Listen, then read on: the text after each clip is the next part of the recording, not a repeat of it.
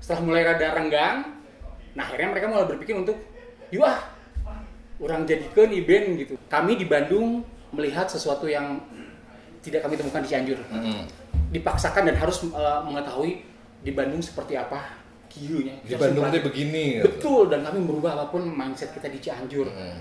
tapi akhirnya nanti ada ada ada ada ada satu cerita setelah itu lah ya Gagan tidak bisa barulah Yuke mengajukan Didin Jadi, reporter lagu kita bosan lah kayaknya kita main sampai dari Rage Against the Machine sampai Manic Street Preachers, Wed, um, Ocean Color Skin sampai Set Seven kita bawain segala macam. Yuk, case close. Tapi sebenarnya ini masalahnya kita akan dewasa untuk menanggapi seperti apa. Betul, Dan ini pun sharingnya lebih ke konflik semua band pun Iya, hampir sama tapi ini sebetulnya bukan bukan buat teman-teman Purpos sih kalau buat saya. Saya kan untuk kawan-kawan adik-adik kita.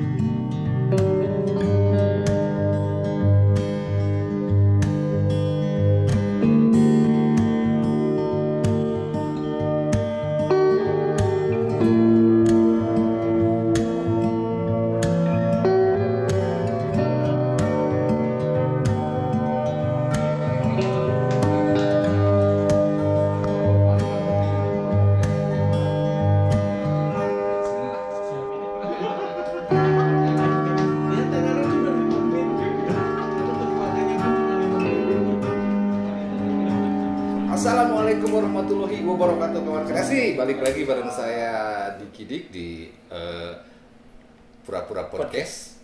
Jalan-jalan. Jalan-jalan. Episode jalan-jalan. episode jalan-jalan karena sekarang kemarin eh, kebetulan ada di IG waktu kemarin saya ngobrol bareng sama Didin Purpos. Eh, ada di IG sebetulnya yang yang yang eh, Didin Purpos waktu kemarin tayang episode 2 itu sebetulnya itu bukan bukan bukan poinnya yang pengen saya nanyain sama karena itu kan eh, Didinnya bukan dari Purposnya yang yang maksudnya dari kenapa kok dari basis menjadi eh, krunya Dewa 19 Betul. nah itu kan Betul. Nah mungkin kalau sekarang kalian lagi nonton ini kan udah keluar tuh part 3-nya ceritanya udah udah keluar. Nah tapi kemarin di DM ada yang bilang ke Kang Andi karena Kang Andi yang tahu eh, dari awalnya Purpos itu seperti apa katanya. Dengan segala konflik-konflik yang ada di dalamnya. Nah, buat kalian di kawan kreasi, biasanya kan suka pengen tahu nih konfliknya ada apa aja gitu. Karena kan plus genep duanya Ya pas enam dua aduh. Terus seneng dulu mas selalu eh, kepo. gitu pengen tahu ada apa. Nah sekarang kebetulan eh, kemarin saya sempat nge nyolek juga tuh di IG-nya Eh, ayo Andi kita gas Iya. gas oke nah kawan kreasi sekarang saya datang ke Icebox. Icebox, Icebox itu adalah tempatnya nanti apalah. Nah, karena sekarang si Kang Andi itu dia menjadi eh, salah satu salah satu pemegang apa ya namanya? Yang ngurusin Eh, project. pengelola lah ya, yang Pengelola. project-project si Icebox ini. Jadi tepuk tangan dulu buat Andi. Ya. Terima kasih. Terima kasih Kang Betri Kang Diki Ini kan sudah Andi, menerima saya. Andi Purpos atau Andi Bionic Kanguru? Kalau le- legalnya sekarang saya kumpau chicken sekarang. Gu- Kumpau Iya, chicken, legalnya. karena memang. Hmm. uh, sedang aktif di sana dan uh, ya agak agak aktif lah akan mengeluarkan juga single-single baru itu. Cuman karena uh, ruang kreasi ini Ah. terus ada beberapa temen yang itu cerita soal Purpos seperti saya tonton juga Ah, pasti ah, ah, ah. karena saya langganan nonton ruang kreasi gitu kan dan saya tuh kaget karena ini ada dua dan akan jadi tiga personil Purpos. Purpos yang akan tampil di Saya mikir, Betul. ini sepenting apa sih Purpos sampai begini ya Allah tapi terima kasih sudah mengundang saya Iya, karena Gitu. karena eh, eh, bukan ini kawan kreasi, bukan purpose-nya sebetulnya. Kalau yang saya pribadi sih saya pengennya masing-masingnya. Kayak kemarin kan yang awal Lutfi tuh. ya Oke, Lutfi vokalis purpose gitu, Betul. tapi lu ngerjain apa sekarang? Iya. Gitu kan? Terus Didin Didin kebetulan memang dia basisnya Purpos. Betul. Ya, bolehlah sedikit-sedikit ngomongin masalah Purpos Iya. yang akhirnya dia menjadi krunya Dewa gitu. Betul. Nah, sekarang karena kemarin kan ada yang Andi tuh. Mungkin kayak kemarin juga ada yang ngomong Bobby kan? Bobby betul. Mungkin siapa tahu setelah ini juga tadi Lutfi juga bilang apa setelah Andi ini Bobby yang yang ya bisa jadi yang saya ajakin ngobrol gitu. Karena kawan kreasi sekarang kebetulan di Dop Stereo ini di Icebox ini eh Icebox ini tuh nama nama tempatnya Nama tempatnya, Icebox. Icebox, betul. Cuman yang mengelolanya Dop Stereo. Dop Stereo. Betul. Nah, seperti apa nanti Dop Stereo-nya nanti ya Boleh, ya. boleh, siap. Apa yang dikerjakan oleh Dop eh, Dop Stereo di Icebox ini. Betul, betul. Di sini ada ada Lutfi Purpos. Dia lagi makan ayam geprek dengan semua keringat-keringatnya karena pedas gitu. Kang Andi, Ya, Kang. kemarin tuh dibilang katanya bahwa kata Didin eh, si Purpos itu sebetulnya mah Andi dengan siapa? Dari Eh, Cianjur? Arya. Andi dengan Arya, orang Cianjur Betul. mau eh, datang ke Bandung membawa nama Purpos itu. Betul. Berarti anggaplah Kang Andi ini sebagai penggagas kan dengan Arya almarhum ya. Salah satunya betul. Salah satunya. Sebenarnya bertiga, jadi ada gitaris satu lagi. Kan gitaris kami ada dua, waktu Willy dan Omi.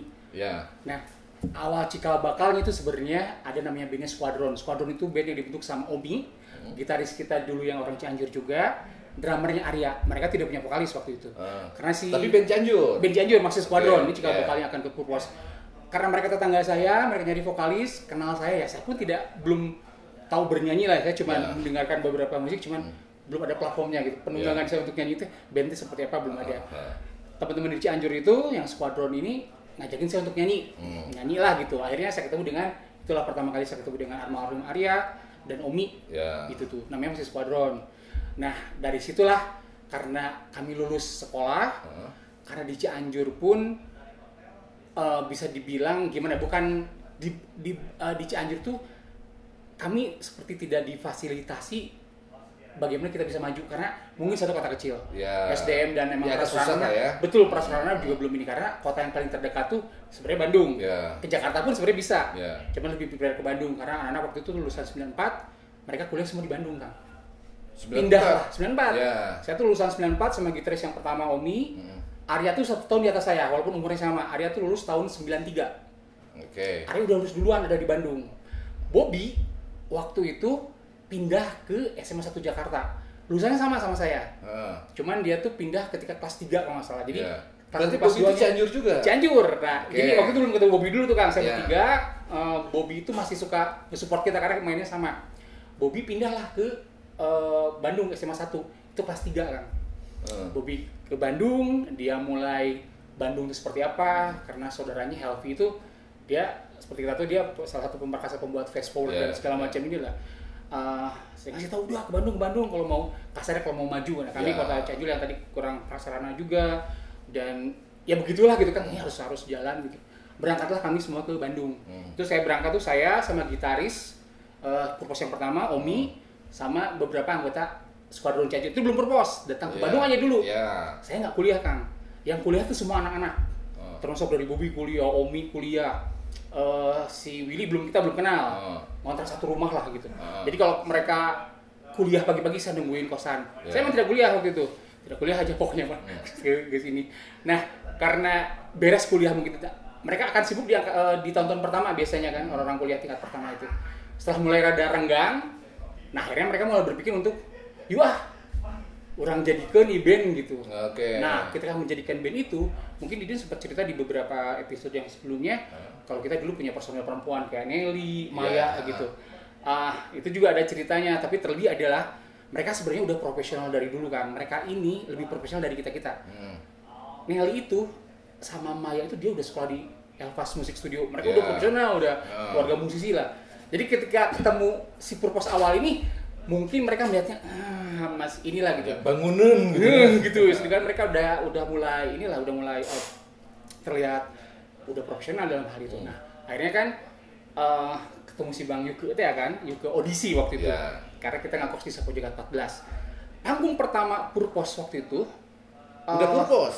sudah Purpos akhirnya kita ganti nama karena orang-orang Cianjur ini sudah tidak ada lagi kecuali saya dan Omi dan kan ada Reki Hikmat Omi saya Arya. Ya. Oke, jadi Hikmat sama eh Reki itu sudah tidak bisa ikut lagi sama kita Hmm. karena kondisi tidak bisa akhirnya nggak bertiga dong. Ya. Akhirnya baru masukin Me- Nelly, Maya dan segala Ya, macam itu. ya. Dan harus mengganti nama. Nama Purpose itu dari Bobby kan. Hmm. Bobby itu mengajukan satu nama karena Squadron itu terlalu kayak kita tuh kayak anak anak-anak TNI AU gitu. Squadron. Ini juga sekumpulan tentara. Oh jadi anak kolong gitu. Padahal lain gitu kan gitu pikir. Akhirnya Bobby mengajukan nama Purpose itu. Ah. Itu awalnya bertolak belakang dengan dengan saya karena saya ngasih nama Squadron nama kamu sih Purpose gitu. Bobby ngelihat nama Purpose itu dari katalog majalah Jepang di sana ada pemukul baseball buat Purpose. Saya juga ngerti Ah. kenapa dia ngasih nama itu. Intinya itu fit nama itu untuk anak yang lain. Walaupun saya akhirnya udah Gus ganti nama ini jadi Purpose. Hmm. Belum ada Tiger Clan Berarti di Bandung. di Bandung Kang di Bandung dan nah ini saya harus cerita juga sedikit kenapa Nelly dan Maya itu akhirnya keluar mengundurkan diri dikarenakan Ah. almarhum Arya itu waktu itu beliau ini kan udah kuliah duluan Ah. saya tuh orang yang paling dekat dengan almarhum karena saya tuh parasit parasit begini setiap beliau Arya tuh kan kosan Arya selalu dijadikan base camp sama Purpos dari mulai dia ngekos pertama di Cihawur Dago pindah ke Sapuja 14 itu yang lu- eh, rumah Kang Yuke. Terus eh, pindah ke Ciamplas bawah, bawah sampai ke Citrayuda itu selalu dijadikan base camp. Karena saya nggak kuliah karena saya ngikut-ngikut dia terus. Hmm. saya nomaden lah gitu pasti sama Arya sama Arya gitu segala macam. Nah eh, beliau ini kuliah di satu jurusan yang sebenarnya dia tidak mampu. Dia kuliah di MIPA matematika dan IPA Ah. Terus kenapa lu bisa kuliah di sini? Hmm. pengennya orang tua seperti itu. Ah. tapi kuliah wae kang jadi ke distrik terus gitu kan ke distrik terus. Sampai Arya tuh yang harusnya lulus waktu itu berapa tahun ya? tiga atau deh Hmm. 10 tahun kan. Kita mau diluluskan dia pas mau kita mau tahun 99 aja. Sedangkan dia masuk tahun 93 kan gitu kan. Sakingku tidak konsen lagi dalam kuliah. Nah saya itu mendekati Arya itu ada maksud. Kenapa saya harus parasit dengan dia? Kalau saya tidak mendekati beliau Purposo tidak jadi karena pilihan saya pribadi dan Arya itu tidak ada lagi kalau kita gagal kuliah ataupun Oh. udah kita ngeband gitu kan Oh, oke. Kenapa kita mau ngeband? Itulah Kang. Kami di Bandung melihat sesuatu yang tidak kami temukan di Cianjur. Hmm. Ketika ke Bandung kami dipaksakan dan harus eh, mengetahui di Bandung seperti apa pemain band Bandung teh lagi usum apa. Karena sangat kontras dengan Cianjur Kang, dengan daerah. Kami dari Cianjur itu membawakan lagu-lagu masih Guns N' Roses kan. Black Crowes. Hmm. gitu. Ketika saya ke Bandung, saya ngelihat Five Minute waktu itu akan masih main drum. Kalian membawakan lagu Top 40 dengan Green Day, The Cure, Counting Crows, Oh. Four Non Blondes, segala macam gitu. Ah. Ini apa nama band seperti ini gitu? Maksudnya membawakan berbagai macam eh, apa namanya eh, Genre. musik. Kami sempat melihat almarhum Kang Miko Protonema Ya. Ih gila ya pasti boy itu luar biasa gitu belum klip lah kita gipsikan gitu akhirnya kami membentuk kebentuk sama Arya itu berdua karena kami sering nonton konser kan sering nonton Kalian berdua. kami berdua karena anak-anak lain tuh ngekos uh, setelah di satu tempat itu mencari ada yang ke Tanjung Sari gitu Hmm. kalau saya kan ikutin si Arya terus Hmm. saya paksa dia untuk yuk kalau emang sudah serius tidak serius dengan uh, kuliah ayo kurang ngeband Perlu tapi jadi. kan. Betul, jadi caranya gimana? Kita basic ini kita penuhi ngapain? Tontonlah band di Bandung seperti apa? Kita harus tahu industrinya seperti apa? Kita harus tahu nama kesukaan orang Bandung seperti apa? Nah, akhirnya karena kita nonton sering, tiap nonton Ayo pengen kita tonton Gypsy Can, waduh, karena itu kita nonton sampai Protonemanya, eh, Saya sampai tahu banget si Kang Sani setelah lagu When I'm Cameron itu lagu saya bisa tahu. Karena- li- nol gitu kan. Karena saking ngapalnya karena seringnya. Itu yang membentuk kami untuk ayolah menjadi tekan. Arya tuh akhirnya punya semangat lah teh. Ayo carana cenah harus bagaimana gitu. Nah, itulah akhirnya kita mulai latihan-latihan latihan ngekos di Yuke. Di Odyssey. Sepujagan. Oh, Sepujaga, Ya. si De- Dewa. Panggung pertama kita tuh dikasih di sessionnya mereka. Odyssey manggung di Ohara. Mereka dua session manggung kan. Hmm. Satu session beres, Teh Rikanya bilang, abis ini nanti kita kembali lagi, bakal ada adik-adik kita namanya Purpose, tonton ya. Gitu. Itu pertama kita. Hmm. Itu ya? kecil, itu Kang Rika saya masih ingat sama si Kang Reza. Manggung lah kita. Vokalisnya saya, Bobby, Nelly. Oh. Keyboardnya masih Maya, drummer Arnold Maria, gitarnya satu masih Omi. Oh. Itulah I will never know. Lu bawa lagu dulu kita ya? Kan top. Nik, Eh, nggak ngerti karena eh, kami eh, yang tadinya bawaan squadron tuh Guns N' Roses, um, Hard to Handle main di Vista Boom pertama SMA 1 yang ada 5 minute. Ketika kami manggung orang-orang Bandung pergi nah sih? Nah kalian udah Hunting Crows sudah udah The Cure gitu kan. Suede segala macam. Akhirnya kita berubah kan dari mulai cardigan, Manic Street Preachers, Bobby Boy itu terus em, saya bawa apa uh, per, uh, Terror Vision dan segala macam. Khusus kalau yang cewek nyanyinya cewek-cewek gitu kayak Oh. Frente Oh, gitu lah. seperti itu. Dan ada mendapat perhatian di Ohra itu ketika main di salah-salah seasonnya audisi yang Oh. nanti jadi the group itu terbiasa seperti itu di situlah mulai Arya dan saya tiba-tiba ini banyak yang teman-teman Purpose sebenarnya nggak tahu mungkin Maya sama Nelly itu secara tidak langsung kita paksakan bukan mengusir sih ya Arya sama saya akhirnya melihat ketika teman-teman senior itu manggung saya mikir kita harus jadi manly band gitu Hmm. harus band laki-laki Hmm. karena kami akan membawakan genre yang mungkin akan tidak nyaman buat perempuan perempuan ini Ya. gitu. Tapi kan tidak berani kan, mereka tuh Ah. membantu kami juga sama. Ya. Cuman gimana caranya? Tapi Nelly sama Meli itu mulai melihat si Adi bisa masuk-masukin rap ya. Oh. Lagu sudah mulai ada distorsi. Dulu kan Ah. distorsi masih minim karena Ah. kebutuhannya ya cuman ya gitu lah gitu. Ah. Itu udah masuk cek cek itu kan nyaman buat buat Buat seorang perempuan, pemain perempuan, perempuan, ya. terlebih eh, lulusan sekolah elpas musik. Betul. Oh, Betul. Betul, ini jejet-jejet gitu. Akhirnya mereka mengundurkan diri Hmm. secara baik-baik. Kami pun tidak mengusir, cuman kayak, ayo kita jadiin, yuk buat kita apa, Hmm. laki-laki gitu ya. Jadi, Maya sama siapa?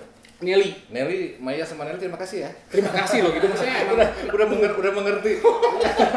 Tapi tidak mengusir, cuma kayak, Eh. kayak saya sama yang mikir kalau kita masukin uh, lagu ini mereka akan nyaman apa enggak ya gitu. Hmm. Mereka pun bingung ketika lagu naon gitu. Tapi Maya sebenarnya memang saya tahu dia diposisikan untuk bukan jadi musisi sih. Ya. Dia as a businessman. Kalau Nelly emang nyanyi keluarga Kang Aib Aib, ya, persi. betul perkusi itu. Emang dia nyanyi lebih profesional lah. Saya pikir platform purpose itu cocok buat mereka itu sendiri. Akhirnya mereka pun tanpa sadar akhirnya mengundurkan diri dan ada hal lain sih yang memang eh, waktu itu tidak bisa bersama purpose. Sudah, kita harus nyari kita berdua lah saya sama Bobby waktu itu. Belum ada Lutfi waktu itu. Ya. Eh, Bobby em, mulai main di klub-klub pub festival lah kak. Itu pasti antara tahun 97 kan, 96 97. Wow. Festival di Pinkade Berarti lain silakan opas cek si Didi. Bukan, sebenarnya mantap. Saya baru lulus SMA dan belum ada nama purpose waktu itu. Arya tuh 93 emang sudah lulus, cuma dia sendiri di Hmm. Bandung kan. Ikutan festival tuh kayak pertama festival pertama yang kita menang itu adalah festival di Pinkadilek. Saya ada ikut Oh. Pinkadilek. Hmm. Salapan tujuh ya tanya. Mohon, eh, ya, ya, ya. Jurinya Kang Ricky Teddy. Jamrud. Dikit kan menang situ. Itu pasti festival pertama. Tapi formasi masih itulah ya. eh, saya Bobby dan ya itu berdua. Itulah gitu dari festival-festival biasa terus manggung seperti biasa 17 Agustusan, musik kampus segala macam. Nah, berarti akan masuk ke episode Bobby. Eh, sorry, kita bak nemu dulu ini gitaris baru dong. Kami Jadi- membutuhkan dua gitaris. Oh, dengan lagu-lagu itu butuh Betul. dua. Butuh karena kita harus ada ritme yang aduh gimana ya gitu. Hmm. Om ini adalah gitaris solo sendiri yang kita bawa langsung dari Cianjur. Entah gimana ceritanya kita menemukan Willy karena Willy ini. Nah ini kalau Didin flashback ke belakang, Didin tuh kan teknisi di Selo Studio.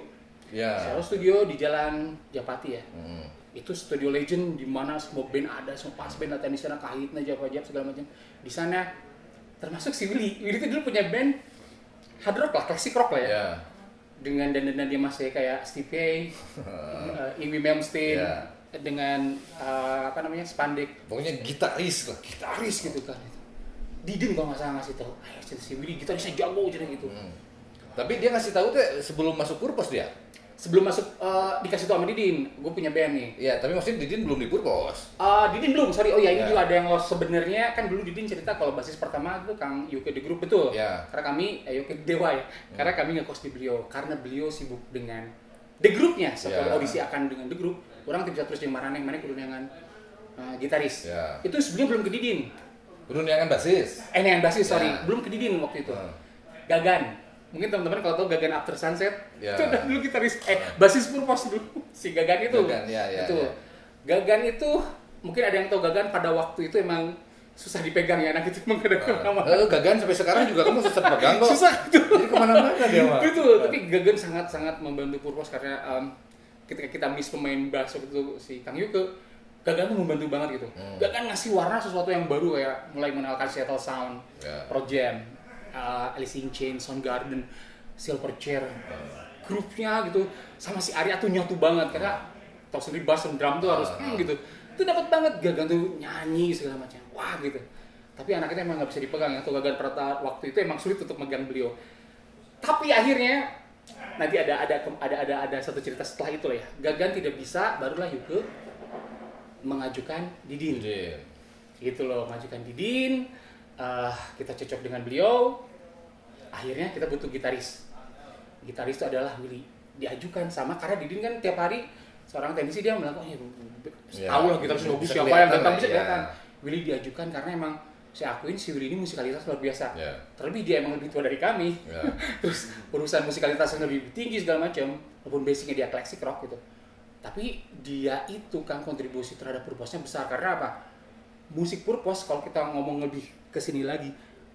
Band ska ini gitu lebih lebih beda dengan maaf dengan uh, rekaman band ska Yang lain. yang lain. Karena kalau akang bener mempelajari musiknya ska-nya si Purpose ini lebih crossover kan kita banyak masuk kadang ska kadang masukin etnis kadang ada swing dan bossa kadang, Iya. kadang main kayak gitu gitu kan? Ah. tapi Willy itu kontribusi besar seperti itu. Makanya kita cocok dengan Willy waktu itu. Kita ambil lah si Willy. Di antara gitaris-gitaris Cia- di Bandung yang waktu itu banyak itu. Cuman Willy lah yang benar-benar capable untuk bisa ikut kita Iya. sekalian ngebimbing anak-anak juga Iya. segala macam masuklah si Willy Hmm. berarti kita ada dua gitaris dan dua Oh. vokalis saya sama Bobby. Bobby betul nah mulai di situlah ada konflik yang Udah berselang berapa lama tuh kalian dengan formasi itu?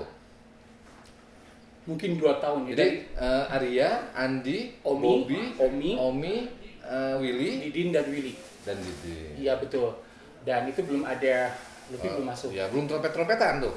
belum kami belum mengenal ska. Oh belum, ya oke. Ska sudah ada di luar tapi materi ke datang ke Indonesia-nya belum ada. Dan kita belum tahu kalau ska apa belum ada. Kita mesti mainin all around Tah 40 ya alternatif uh, British terus um, pop rock lah Ya. Karena terinfluence karena nonton-nonton band-band yang sudah betul ada di sekali. ya. separuh ditonton ke mana ya bazar di mana kita datangin. Hanya untuk apa? Kita pengen oh kieunya Di Bandung tuh begini. gitu. Betul, dan kami merubah apa pun mindset kita di Cianjur. Hmm. Dari mulai fashion kami, dari mulai cara pembawaan lagu seperti apa. Kami mempelajari si Kang Sani, Kang Gipsi kan siapa Kang vokalisnya si Eh, eh, ya, elah, siapa sih? Astagfirullahaladzim, jadi lupa. Gipsy kan teh? Ya, ya pokoknya si uh, Kang Miko sebagai Ah. kalau lebih ter, uh, terlebih buat saya karena saya front depan ya saya mempelajari pas sampai public speaking seperti apa ketika mereka greeting seperti apa nanya ke penonton Kang Roni namanya Gipsy kan Ya. Sekarang itu bagus uh, apa public speakingnya ketika dia menyapa penonton kita pelajarin. Uh, saya sampai segitunya gitu karena saya udah punya panutan gitu. Di mana kalau emang nonton konser tinggal ayah Five Minute tuh ayah Gipsy Kena tuh ayah ayah protonnya Mai gitu kan. Kenapa? Kami bukan hanya soal musikalitas yang kami pelajari tapi pembawaan mereka ketika entertainer di atas Ya, panggung seperti ya. apa gitu yang menjadikan si Purpose bisa bertahan waktu itu gitu. Ya, dan bisa diterima lah sama sama apa penyelenggara-penyelenggara di Bandung pada saat itu ya. Betul, betul Pensi kan? Betul sekali dan akhirnya kita mendapatkan kontrak untuk manggung itu adalah yaitu Ohara Hmm. karena menggantikan Riff. Ya. Rip itu main tahu sendiri di, ma- di malam Jumat, eh sorry di, Ju- eh, di malam Sabtu, eh, malam yang krusial pada waktu itu zamannya di Bandung. Eh, Rip itu recording untuk Sony Music. Hmm. Otomatis malam itu di ini kok ditenderkan dong. Hmm. Jadi kalau kalau kalau bisa dibilang si Purpose ini eh, setelah terakhir itu adanya Willy establish ya benar-benar berdiri bahwa ini adalah band band Betul. eh, band yang siap ready for use gitu ya. betul betul. Itu di tahun berapa berarti ada Willy itu? Oh, saya yakin tuh angka eh, 97 Kang. 97. 97 ya, sekitar 97-an itu Willy udah ada. Berarti kita punya dua dua gitaris Hmm. dan dua vokalis ya dan Bobby waktu itu. Dan waktu itu kalian sering banget main ya di mana-mana kan? sering main uh, banget di mana-mana tapi prime time kami panggung prime time yang kami sangat-sangat banggakan itu adalah menggantikan posisi riff tapi sebenarnya itu tidak mutlak sama Purpose dulu Ohara waktu itu membuat semacam kompetisi kan Hmm. untuk bisa mengisi kekosongan malam sakralisasi riff Ya, itu Ya. ditandingkan tiga band kan sebenarnya tuh Purpose atau band akan ingat vokalisnya ada Ap- Apple, Apple. Betul, ah, gitarisnya Andy Slash. ah. Itu belum buat mereka. Sama Tiben. Tiben itu adalah vokalisnya masih Ipan. Ah, masih iya, masih Ipan Nine Ball waktu itu. Ah, Uh, ah, Tiben ini anak-anak banyak anak umpar kalau nggak Ya. Kalau si Apple ini ada urusan dengan band Apple saya lupa apa gimana masih satu ini lah ya tongkrongan atau apa gitu. Ya, Apple sama band Apple gitu. Dan Purpose. Tiga ini ini Kang switch tiap seminggu sekali gitu. Nah akhirnya Purpose menang tuh ya mungkin karena sebenarnya bukan karena bagus sih, karena income mo- minum banyak. Enggak, ya kalau kalau kalau saya lihat dari yang tiga band itu ya, T-Band, eh, Apple, Iya. sama Purpose, Iya. Kalian menang di mana coba? Kalian menang di lagu kalau kata gua. Ya. Mungkin ya, mungkin ya. Jadi jadi penonton orang beki rock, Purpose bawain rock kok. Saya Betul, beki ya. eh, mana Iya, betul. no. orang nonton oke gitu. Betul, karena saya itu ketika melihat Apple dan T-Band itu juga saya kaget. Ih kerennya si T-Band ini untuk membawakan lagu Brit, eh, Britpop waktu itu kan. Wah gitu. Apalagi Apple, karena mereka lebih eh, bermusik lebih duluan daripada saya ya, si ya. eh, almarhum Adam sama Andy Sales sudah duluan gitu. Saya eh, apa ya? Gitu kadang anak bilang, ya lu menang mungkin karena banyak yang beli minum. Income yang bagus bagi Ohara. Mungkin Iya. karena waktu itu operatornya masih si Kang Dani ya, siapa ya? Saya lupa. Iya iya. Ya itu kan. Iya, karena kalau- banyak yang kalau mungkin ya. sebetulnya kalau sebagai pengusaha ya, ya, siapa yang bisa lebih memberikan omset lebih Iya besar gitu. kan? Saya cuma percaya itulah gitu. Kalau bagus Apple, Apple sama T-Band itu bagus sebenarnya gitu kan. Enggak, kalau kalau kualitas sama di mungkin ya, kalau saya kualitas tahu. tiga tiga itu rame tuh sama. Cuman kalian menang di lagu kalau kata gue mah. Karena Ya. kualitas sama. penonton itu sangat menunggu siapa yang bisa menggantikan Tahat Arif waktu itu kan Ah, karena untuk ah. main di klub ya karena kami speknya waktu itu harus main di klub gimana cara menggantikan itu lagu harus bagus dan repertoire lagunya si Tiben tuh hampir sama juga sama Arif sama kita juga gitu cuman Ah. ya itu saya nggak tahu ya tapi luar biasa gitu kompetisi ini kompetisi yang sangat eh, friendship ya sangat Ya, apa sangat ya. sangat sangat bagus gitu yang kami pun berteman lah Ya. tiga sama dua band itu tapi memang akhirnya kita mendapatkan posisi itu kan prime time yang sangat berharga ya waktu itu kan yang pada akhirnya setiap malam Jum, setiap malam Betul. eh, Sabtu lah Betul. kalian. Jadi enggak enggak Betul. enggak, enggak sweet enggak ya? nggak switch kang terlebih adalah di situlah kami mulai mengenal musik ska kenapa musik ska inilah yang mungkin kita bisa bertahan lama karena ketika genre ini muncul penonton bu ih maunya Enggak, mulai masukin awal, awalnya nih. Iya, Awalnya eh, terkenal bahwa Purpose itu adalah band ska. betul Nah, itu dari mana kok kalian memilih ska aja yuk misalnya gitu? klub di di Ohara Ah. di Ohara itu repertoire lagu kita bosan lah kayaknya kita Ah. main sampai dari Rage Against the Machine sampai Manic Street Preachers, Wed, um, Ocean Color Skin sampai Set Seven kita bawain segala macam apalah gitu bosan gitu ya gitu ketika muncul ska materi ska waktu itu ada di MTV itu dulu MTV apa global ya saya lupa MTV Indonesia di sendiri ya gitu. MTV. mereka memutarkan lagu-lagu yang non komersial itu kan tengah malam kan Iya. di situ yang mana ada Real Big Face, No Doubt, Noda. Nah, tiba bahasan saya bingung. Ini band naonnya? Bawa brass session, pakai horn session 3 biasanya. Dia mainin skang gitu. Kalau reggae mah kan kecek kok cepet ini. Saya nggak tahu kalau itu ska. Tapi ini menarik deh kita coba ini. Anak setuju. Jadi lagu ska pertama yang kita bawain itu sebenarnya lagunya No Doubt tuh yang Spiderweb. ini kan sebenarnya nyanyi gue Stefani gitu ya. Oh. Karena kan saya ngambil high tune, saya tinggi Oh, gitu kan. oh. Jadi pas itu posisinya saya gitu. Bobby itu dia tuh top banget. Bobby itu gak bisa dipungkiri orang yang sangat berjasa untuk ngasih suntikan.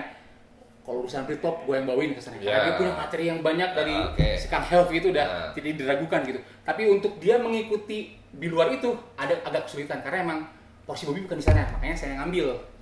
Mulailah masuk kayak Sublime, Hmm. Santeria. Jadi bisa dibilang sebenarnya Purpose itu adalah band ska pertama yang mengenalkan eh, ska di klub di klub kan karena di underground tuh kita mengenal Noin Bullet Uh, Udah ada main bullet sudah ada kang mereka udah duluan dari tahun 91 mereka udah bawain ska Hmm. ada Dirty Dolls ada Evita Peron ada King Kong Beer mereka udah duluan dan saya itu selain menonton band-band yang Top 40 Akang dan yang lain-lain itu nonton underground tuh mereka nonton Hmm. emang sih musik naonnya ada Sound Jackson segala macam ini keren nih kalau gitu bawain itu dibawa kita ke klub itulah menjadi penonton ya band naon gitu makin mungkin makin rame karena unik kita mengenal Horn Section pada waktu itu adalah KSP terus pakai Horn Section siapa aja waktu zaman itu? KSP terus um, Eh, iya. klasik eh, rock lah CFB. si FB betul Si betul betul iya. karena ketika ngeliat rumus sama sound section bawain uh, klasik juga enggak bawain uh, acid juga enggak gitu kan itulah musik ska Oh. jadi kalau di klub si purpose yang mengenalkan musik itu ke klub kalau di underground adalah teman-teman yang Ya, yeah, ya, yang lain-lain ya. sampainya kami pun akhirnya mendapatkan gigs underground itu Hmm. karena genre ska ini sebenarnya kalau kita nggak main ska kita tetap main di klub sebenarnya kan Hmm. Di kayak gitu itulah pokoknya intinya itu kita bisa menguasai Ohara tuh karena itu Hmm, hmm, karena itu sudah stable segala macam muncullah konflik-konflik hmm. dari mulai awal adalah Bobby Itu di tahun berapa, Bro? 98 saya pikir. Oh setelah setelah kalian main satu tahun itu di mana-mana, Iya. akhirnya tahulah ini seperti apa, itu Betul. seperti apa, Betul, gitu ya. betul. Di tahun 98 tuh, di saat rame lah, Iya. karena saya tidak akan pernah lupa tahun tahun 98 itu ada kejadian apa di Indonesia dan di diri saya itu saya tidak akan pernah lupa tuh. Terus 98. Ya, tahun 98. Jadi eh, di 98 itu baru ada konflik antara eh, Andi Personel, dengan iya betul. Willy. Iya. Iya. awalnya sebenarnya bukan gitu. Bobby dulu. Bobby begini. Saya saya mau jujur-jujuran di sini biar semua terbuka dan uh, saya pikir gini, saya ingin ngambil satu angle dari permasalahan yang akan kita buka dengan purpose ini. Ya. Sebenarnya ini akan ditonton juga sama teman-teman purpose yang lain. Ya. Ada apa sebenarnya? Ya, Karena kita sudah ya. dewasa bisa menanggapi apa pun lah. Ya betul. Ya, tapi tapi ini juga kayak kemarin-kemarin eh, gitu. Tapi ini ini juga nih buat kawan kreasi juga nih. Eh, sekali lagi nih, kalian bilang oke, ruang kreasi adalah channel gibah. Tapi bener loh, ini memfasilitasi. Maksud ini gara-gara Lutfi nih kawan kreasi nih. Berarti itu ngomongnya jadi jadi kayak apa? Gibah berfaedah. Gibah berfaedah. Gibah berfaedah. Nah, jadi ini hanya dan kita tidak pernah kita tidak tidak menyudutkan siapa pun sebetulnya. Tidak. Cuman ini berbagi Betul. cerita, gitu dan kan? dan emang eh, masalah ini se- secara internet pun banyak yang belum tahu sebenarnya masalahnya di mana jadi pura-pura Ya. kayak emang nggak mau tahu kan Ya. tapi saya kepengennya adalah setelah saya membuat satu statement ini barengan si Kang Lutfi adalah untuk yuk case close tapi sebenarnya ini masalahnya kita akan dewasa untuk menanggapi seperti apa Betul, dan ini pun sharingnya lebih ke konflik semua band pun Iya, hampir sama tapi ini sebetulnya bukan bukan buat teman-teman Purpo sih kalau buat saya. Saya kan untuk kawan-kawan adik-adik kita. Iya, juga di kita, betul, betul. Buat adik-adik Bahwa ada kita, konflik di band tuh eh, bahwa apa ada ya. konflik di band ini. Nah, sekarang konflik seperti apanya misalnya ini di Purpos nih karena saya yakin Bobby dengan Willy pun ya udah ya udah dewasa lah. Maksudnya sekarang ngapain ya. sih eh, di- ya maksudnya Iya, iya. kayak kemarin kan waktu saya ngobrol sama Pepep tuh. Betul betul ya ada yang marah Iya. gitu kan. Nggak nggak nggak gitu loh nggak gitu. Iya, iya. nggak nggak gitu. Jadi kita fun aja karena ini kan hiburan loh. Yes. Ya? Ini sebenarnya ruang kreasi ini salah satu platform yang saya pikir ya kita tuh ini alat untuk kita harus tahu men- menyelesaikan masalah Betul. yang dulu sempat terpendam Iya. sempat terjadi kita klarifikasi Iya, di sini justru dari awalnya kayak gini di awalnya gitu waktu itu sama Jaki ya men Ya. Jaki kan dia, Kang dia, Jaki, ya. dia, dia kan eh, ikut dari awal tuh si ruang kreasi TV ini iya betul Mana? malah,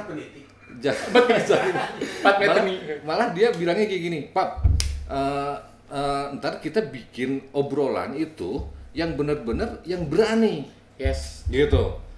Yang artinya bukan berani eh, berantem dan lain-lain, Iya. cuman mengungkap kebenaran, Betul, kan? gitu kata Jaki. Gua bilang, iya tapi kan nggak semuanya juga Jack, gue bilang kan, nggak semua juga eh, orang tuh bisa mengungkap lah, gue bilang gitu. Karena kan ada takut ya menghargai, saling menghargai. Oh. Kita kan di timur nih, gue Oh. bilang gitu, nggak akan kayak gitu. Ya cuman minimalnya eh, siapa pun yang duduk di kursi ini dia sambil menunjuk sofa tuh di rumah tuh, di ruang kreasi. Iya, iya, iya. Siapa pun yang duduk di sini dia harus bertanggung jawab dengan segala omongannya Betul, nah, betul, kayak betul, lah betul, Jadi betul. maksudnya ya obrolan-obrolan gitunya lah Sangat, gitu. sangat, iya, nah iya, jadi iya. sekarang juga eh, karena kemarin Didin kamu kayak ketahan gitu